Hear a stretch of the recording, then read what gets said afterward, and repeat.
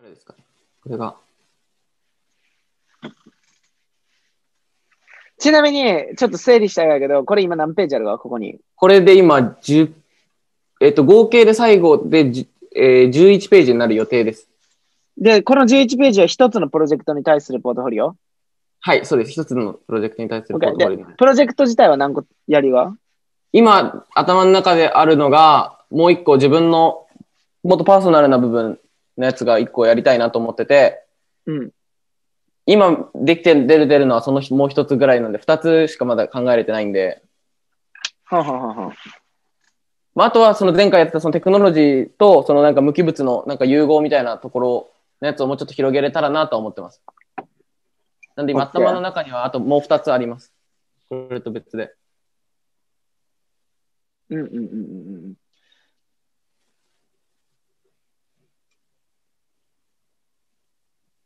これ文字が見えてないのちっちゃいだけ？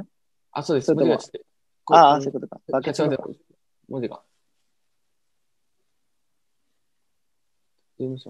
その決して文字を読ませる予定ではないやつ？あ、そうです。別にあの読まなくても大丈夫なやつです。じゃあ、じゃあ読まなくてほんまに読まんけど、じゃあちょっと全体図見せて。はい。よ文字を読まんでも、タイが言おうとすることが伝わるポートフォリオやったらいいけど、なんか文字とかまだちょっとこう、変えたいなと思ってる感じなんで、まだ結果どれがファイナルなの？ど何を使うこの。ファイナルはこれを作りました。こあのなんだそれは。のキャンバス、キャンバスに、これ見せこっち、こっちちょっと画質があるんです。誰か死んだ？し心臓が止まなんか死んったかやけどだ音みたい。誰か心臓止まったかやけど。誰かの心臓が止まっちゃう。ちょっと誰か新重機を早く電気ショックして。え、え俺っすか？え俺じゃないっすよね。えわからん。あ、今なった。イヤホンかな聞こえ、まあ大丈夫ですか？今大丈夫。誰か死んじゃったさっき。すみません、ピーこれこうやって、あの、このサイズの 16×18 か大きいキャンバスに手紙書いて自分で未来の自分みたいな感じで、で、それをこう全部スレッあの糸で縫いました。手縫いで縫ったのがファイナルになります。ああ、そういうことか。そうやって言われたら超面白いけど、ポートフォリオパッと見で全然わからなかった。そうです。などどうやって見せようかなとは思ってるんですけど、ちょっと写真撮っても。で、一応このなんかもうちょっとさ、はいあの、クロスアップの写真載せや、ファイナルのところあ、に。わかりました。はもっとなんかそれが手縫いであることはわかるやつ？い。わかりました。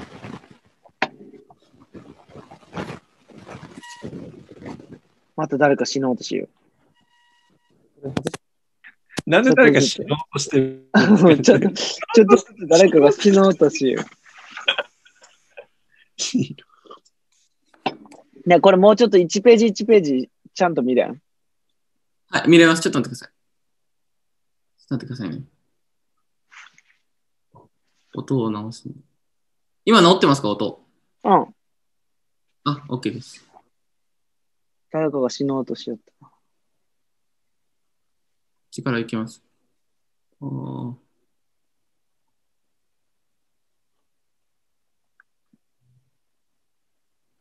お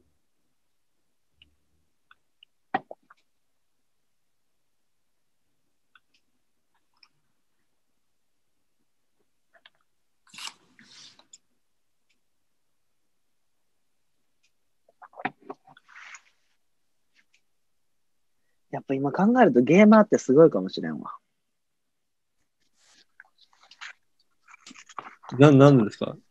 なんかさ、ゲームを昔超やりよった子ってね、今のオンラインのこういうクリエーションのややつすごい得意なかったね。ああー、それは、そう思います。あのね、見せはい方が、まさにそう見せ、見せ方がね、早いがったね。はい。今だって太陽君めっちゃさ、うん一枚一枚見せようとさ、こうなんか、虫眼鏡でこう近いよりやろ。なんかか か、感じ、感覚。そうはい。どうやってやったらいいかわかんないです。この1枚ずつなんか、うまくね、ある。と押しながらスクロール上にしてみ？そのページの、あ、あの、コントロールあると MacBook だったら、ああ、あとは。コマンドかな？コマンド、スペースをしたら手が出てきて、こうやってできて、コマンドをしながらスクロール上にしたら、できない。あ、そうそうそうそう。あ、で、コン、ああ。コントロールをしながらやると左か右に行く。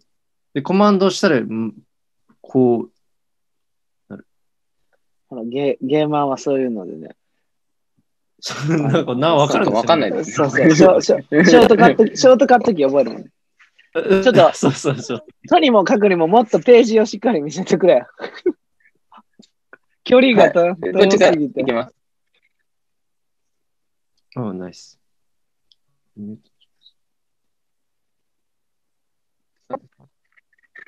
違いないみたいなやつ。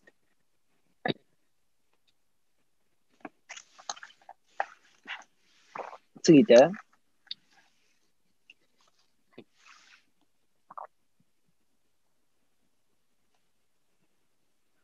ここで何言おうとした？これは最初ライティングの話をしてて、でうん、このなんか、最初にこうライティングができたのっていつなんだろうと思ったんですよ。その一般的にこう人が見手に取るようになったものっていうものを。うん。で、それをちょっと調べたくて、初めてのライティングってどれだろうと調べたら中国の本が一番最初で出てきたんですよ。うん。で、中国の本なんだと思って、で、逆にそのもう一個、プリントされた本、ハンドライティングじゃなくて、そのプリントされた本はいつだろうと思って調べて、で、なんかそれが両方ともバイブルだったんですよ。そのチャイニーズバイブルとキリスト教のバイブルだったんで、本が。なんかそのライティングってすごいこうなんか、力のこもったなんかそういうパワーみたいなのがあるのかなと思って、ちょっとそこを入れたくて、このリサーチのとこ入れました。うんうんうんうん。した。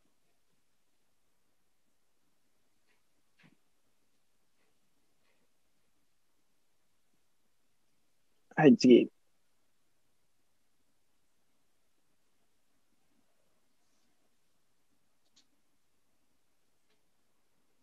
はい。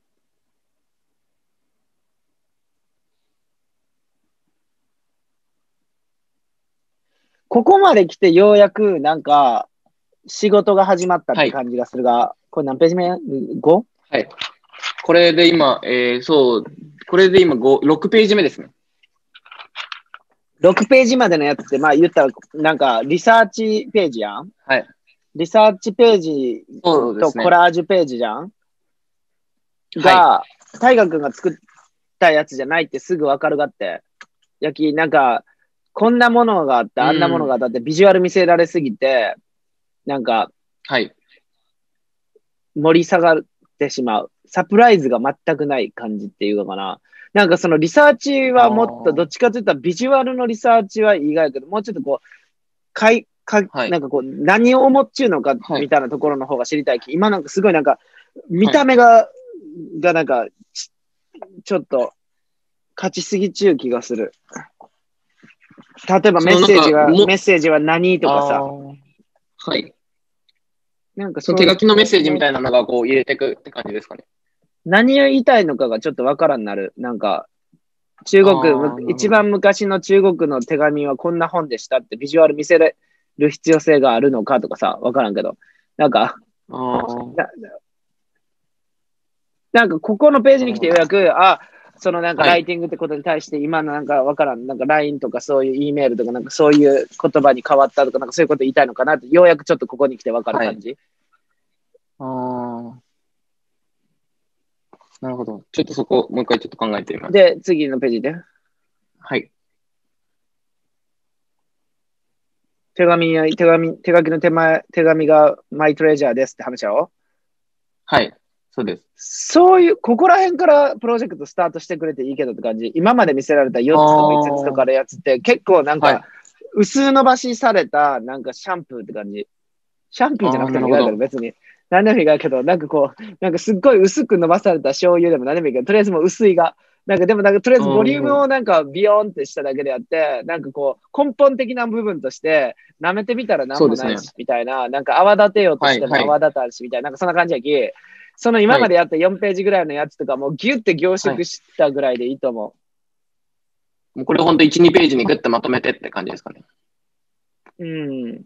イメージ。そのなんか、How do you feel? とかさ、そこのやつは自分で作ったわ、そのなんか、あ、これは全部自分で作ってます。これ作ったのは、これと、ここの絵とこのやつをコラージュしてて、自分であの、大きい紙買ったんで、それをコラージュしてて、あとこの背景のこの手の絵とかは全部自分で描いてます。なんかね、作った感じが見えてないのがすごい残念やき、作ってないやつがむしろいらんがじゃない、もうなんか、あー、なるほど。うん。うん。どう考えても古書のをネットで拾ってきたみたいなやつとかが邪魔しゆう。あー、そういうことですね。うん。これ作ったっぽいな、これ違うろうな、みたいなの混合しすぎてちょっと。あー、わかりました。じゃあちょっと写真の量が多いかもしれないんで減らしたりしてみます。この辺は。うん、見せるところを見せるっていうのはやった方がいいよ。はい。まあでも雰囲気は捉え中と思うで。はい。そう、だからこれがね、あの、多分まあ実感すると思うけど、じゃあこれプレゼンテーションしてくださいって言った時に、喋るコンテンツの話っていうのは正直ね、パッと見たらわかるがってね、ヒロムくのやつ超時間かけてやったじゃん。 step by step で感じやき、ページ一個一個見やったら、そのプロセスがわかるわけ。どういう風にしてこうなって、はいあこれがこうなって develop されたって感じやけど、今タイガくのやつで、多分 develop、その思考のところの develop と、あの、はい develop をスキップしてしまっちゃうき、正直このページをどういうふうにぐちゃぐちゃにしても、大して意味が変わらんようになっちゃうと思う、今。例えばそのさ、フレームのところにはい書いてやりましたっていうやつとかさ、こんな前半にいきなり出てきていいんだろうかって俺はまず疑問なのね。どういうタイミングでこれここ長やろって感じ？なるほど。はい、はい。なんか、わかるがやけど、一つのストーリーとしてページの感じが間違っちゃうような気もするなっていう感じはする。ちょっと思うなるほどで、で、そのなんか、あの、はい。そのトレジャーの後、トレジャーの後が、これですね。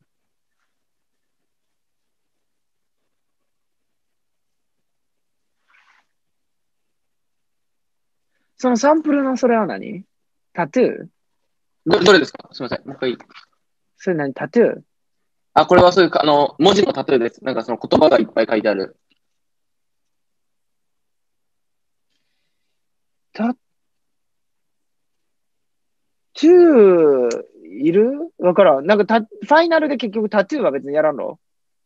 タトゥーはやらなくて、この、一応ここの、まだ一枚できてなくて、ページが最後のとこに行く。ここでなんかちょっと、あの、一個服のやつに、いろいろちょっと持ってきます。まだ全くできてないんですけど。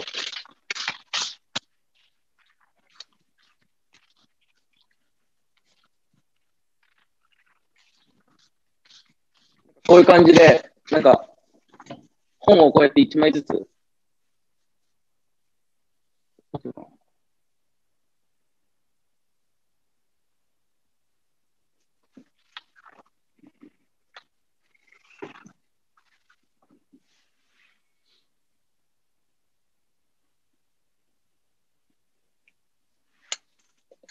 なんか、なんかこういう感じで、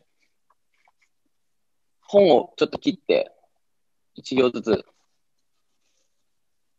こういうふうに縫い付けたんですけど、この発想が、なんかこの手紙をやっていく上で、なんかこう、なんで人がこう手紙ってものをこう、なんていうんですか、保管するのかっていうのにすごい疑問だったんですよ、僕が。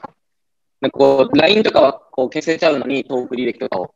手紙っていうのは簡単に捨てられないものなんだなと思ってて、で、なんかそれってなんかこう、一つ、それって人からもらう手紙だけど自分に送る手紙ってあんまりしないなと思った時に、なんかその形がこう変わったのがタトゥーなんじゃないかなと思ったんですよ、僕が。自分が自分に送りたい言葉を、いわゆる形として体に刻む。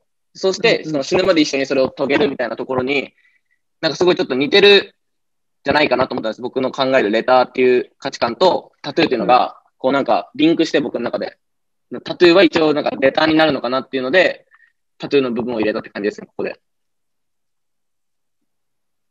からのそのアイディアはどうなったの？その次。で、それが、そのクォートタトゥーって言って、まあ文字をこう体にまとわせるみたいな感じのイメージで、こうなんかパワーをもらうじゃないですけど、で、なんかこう本をこう一文ずつ切り取ったりとかして、こう体にこうまとわりつくような感じのイメージで、フックにちょっと縫い付けてみたって感じのアイディアです、これは。あ、それがその次のページに来るってこと？あ、それがここの、この、ここに行きます。はい。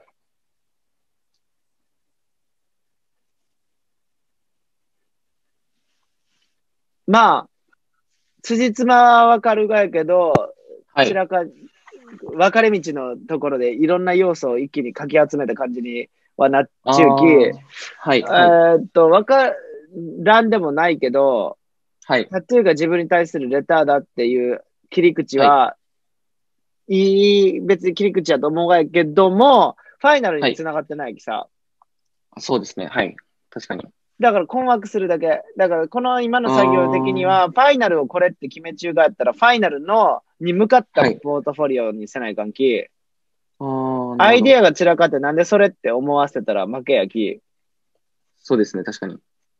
なんかタトゥーとキャンバスってまず違うし、刺繍とタトゥーのなんかフィーリングがちょっと違う。それが、ファイナルをもうそれって固定刺繍がやったらもうちょっと別の話の方がいいんじゃない？なんか、なんで塗ったのかとかっていうところとかも、まあ塗ったそのテクニックとかそのアイディアはすごいいいと思うけど、なんでその書くことじゃなくて塗ったのかっていうところとか、はい。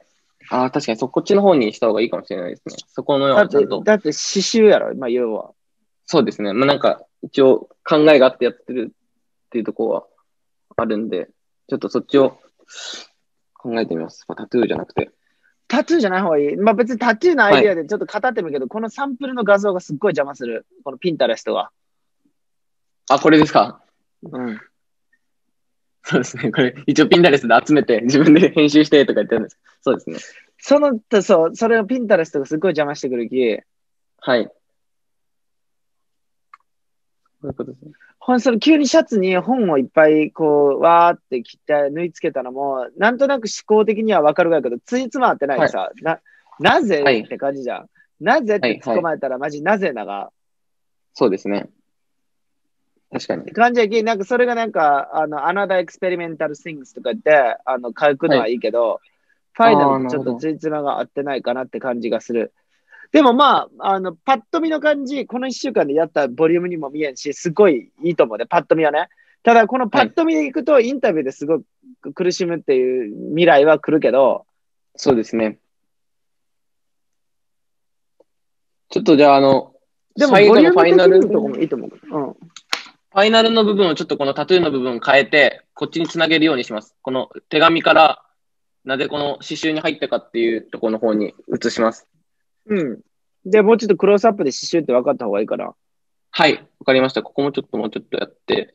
うん。で、今、別に、はい。あの、全然意外けど、今はさ、なんかどっちかってあんまりじっくり見られたくないポートフォリオって感じながら、なんかとりあえず本当にざっくり見た目を表面的に作った感じでね。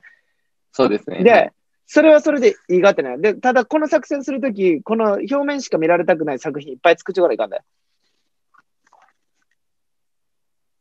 いっぱい作っとかないかんっていうのは、このもう数でって感じですかね。うん。こ了れ、解しました。あと3つは絶対最低でもいるじゃんこのボリューム感が。そうですね。はい。で、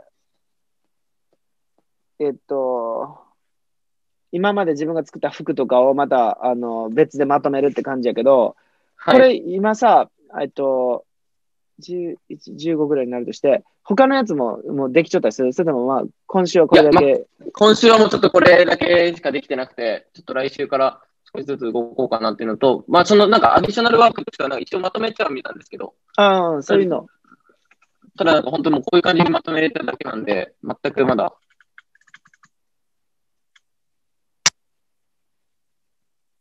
あ、でもすごいいいよ。こういうもう本当これ、正直これぐらいしかなくて、あと今自分で絵描いてるのがあるんで、油絵とか、そういうのうん。で描いてるのがあるんで、それでちょっと今考えてるので使わない絵とかはドローイングとかで乗っけていけば、一応この12月中に多分3、40枚絵は描いたんで、いろいろ。うん、アディショナルワークを強化しよう。大学これ絶対強化してた方がいいよ。はい。アディショナルでもないけどね。メインワークで全然いいがったよ、これも、これで。ただ、コンセプチュアルな方のやつを今はい付け足しだけで、これも大学のレックとして誇れる自分の作品やき、クリエイティブワークやき、別にアディショナルでもないけど、まあ、この、こっちのジャンルの方をちょっと強化してみよはい。わかりました。アディショナルの方ですね。う。うん。これがさっきのコンセプチュアルな方と合体したらすごいいい、強いポートフォリオになると思う。わかりました。で、どっちかというと、今、俺が大学に細かいフィードバックを上げ続けるっていうのは、あの、ナンセンスやきさ、こんがらがるだけやき、はい。はい。あの、エディティングの最後の話やけど、今さっき言った、はい。その、えっと、手紙の話に関しては、ファイナルを絶対忘れんとってよ。で、メリハリをつける感じでもうちょっとだけ、あの、い持っていきたいかなっていう感じやけど、やりゆうテイストはあっち行き、この調子でこれを3シリーズぐらい作ってみて。で、色味、色味ガラッと変えて。はい、了解です。うん。大河君の多分ね、アディショナルワーク見てもわかると思うけど、多分もうちょっと色ある方がいいと思うが。はい、そうですね。これはちょっとレトロ感を出したかったって感じです。うん、これだけ見せられるとすごいなんかね、昔の森ガールがね、なんか出てきたかなって思あう。なんかふふんわか癒し系みたいな感じやき、なんかこあ、はい、こ紅茶飲みそうって感じするき、なんかキャラクターと合ってないき、はいはい。あの、もうちょっと普段のあの自分が着るような服の色味とか、自分の性格もっと出した感じでいいと思うね。わかりました。じゃあ他のプロジェクトはちょっと色出します。うん。で、今回のやつすごいおも、なんかディープなコンセプトって感じもするき、あの、あれやき、次肩の力抜いてユーモア出してみていいと思うよ。わかりました。もうちょっと。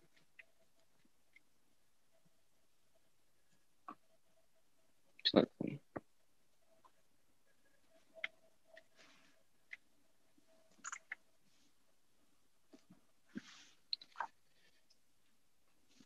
了解です。ちょっと考えてみます。はい。で、えっ、と、このコンセプチャルワークの方長いけど、あの、服のこと考えんでいいきね、ほんまに。はい。全然服考えんでいいき、別に布である必要性もないし、あの、服で使えるようなテクニックを使う必要性も全くないきね。はい。なんか面白そうなアイデアがあったらそれで全然いいし、なんかバナナになんか突き刺してみようとかそんなんでもいいし、はい、あの、別になんか瞬間芸術でもいいきね。あ、わかりました。そのページ数っていうのは大体どれぐらいがいいとかってあるんですか？なんかそこがわかんなくて。ページ数にめがけてやらんでいいよ、別に。でも、一つの、はい一つのプロジェクトとして、このぐらいのボリュームはないといかんかなっていうのはある。これをもっとエディティングして凝縮して見せる感じやき。はい、わかりました。